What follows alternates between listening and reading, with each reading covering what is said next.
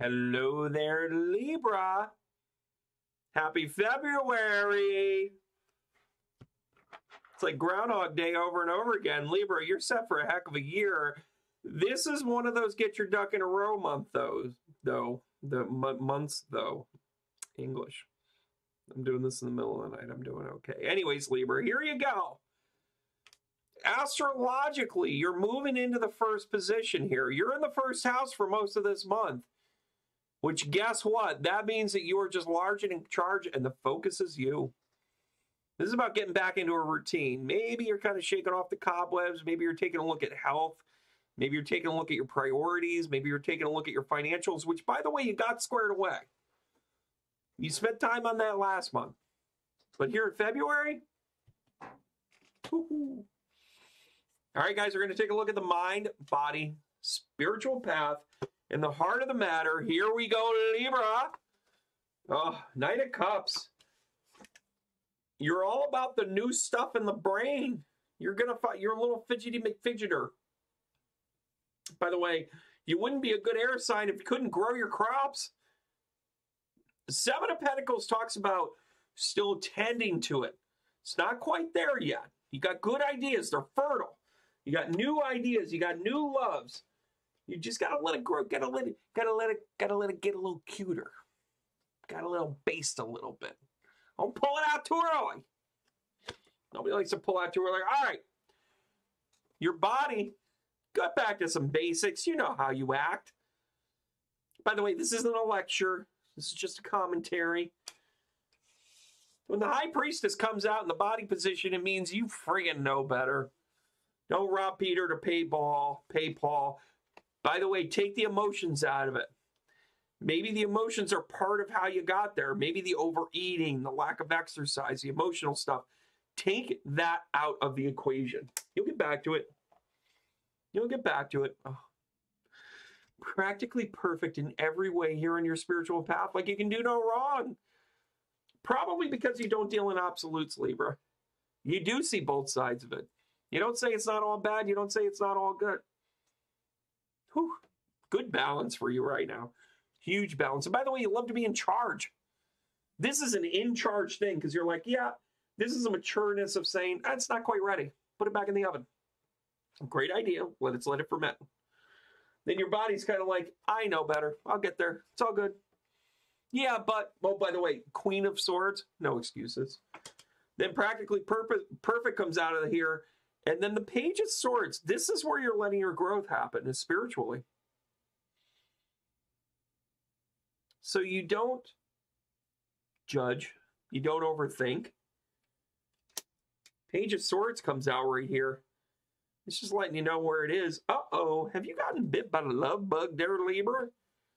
Queen of Cups, knowing that she's really smart.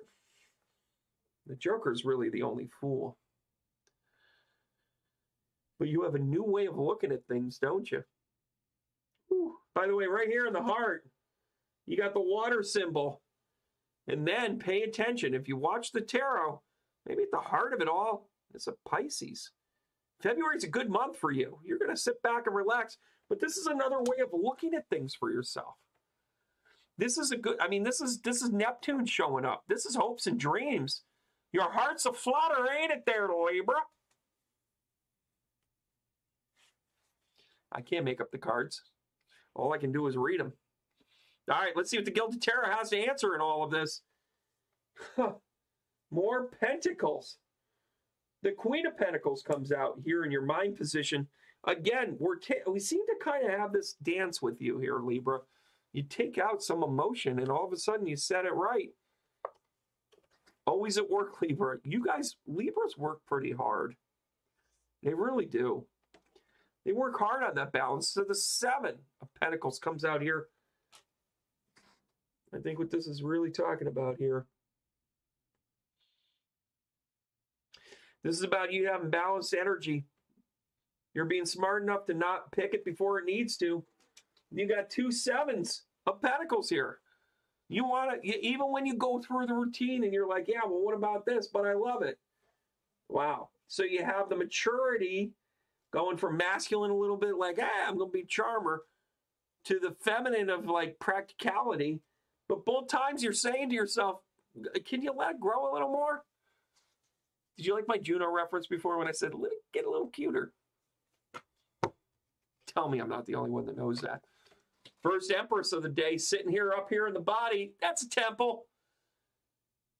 Come on, you're going to get back to basics. There's something about self care for you this month. And again, don't forget, don't forget being in the first house. You got to make it about you. And then you get the, oh, got the Knight of Cups in reverse. Maybe the physical stuff isn't for you right now. Maybe it really is chilling out. Maybe it's not about saying, I want to go climb a mountain. I'm going to climb a mountain. I'm going to go do this. I'm going to go do that. No, no, no, no, no, no, no, no. Take a deep breath there, Mortimer. Take a chill pill. All right, let's take a look here over at your spiritual path. Again, I think it's great that you're, you're practically perfect, but you got a new idea, a little reckless, and then, oh, the Ace of Swords comes out. This is you, like, you might get a great idea, and then you're going to cut it down to size. There ain't nothing wrong with that. Because you are all about the practicality. You really are. Because then the Emperor comes out. Oh, gosh, your practicality is killing me. Your ability to look at the duality of this moment is really, really impressive. You know, the Emperor comes out here, Earth energy, you go Earth, air, air, Earth. So you're trying to be practical you're trying to maneuver through this in the most logical way possible. Of course, you are Libra. I mean, listen, everybody knows you're a good time. You are a good time. But this is one of those months where you're like, it's me first, it's not everybody else. All right, let's take a look at the center square where you got the king, Queen of Cups and the Hangman. You've got a different way of looking at love, oh, but you'll be in balance. Hi, I'll take the Libra card for 200, Alex. Look at this. The Justice card comes out. Who's in balance? Who's in balance? And then the King of Cups comes in. Who's who's making your heart go bitter bat there, Libra? What passion of yours is coming to fruition? What is the idea that you're like, I'm going to fall in love with myself again? Because that's kind of what you're doing right here. It's really impressive, actually. Gosh, I wish everybody could have a month like this, but it's not always in the stars. It is for you because this is a very important month of yours. All right, guys, we're going to take a look at the Chip Richards secret language of animals.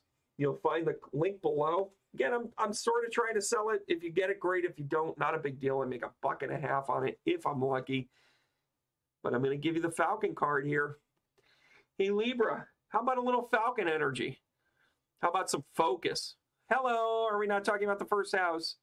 It's about action, purpose, and aspirations. You make my dreams come true. Do, do, do, do, do, do. You're looking in the mirror when you say that. Self reliant as always. You're getting through the muddle and you're getting it done. Libra, I'm proud of you. Nice work. Go have a great February. You deserve it. And give you the heart tap. Remind you that we love and care for one another. And simply keep going. See you soon. Like I said, I kind of like that tagline. I'm going to keep it.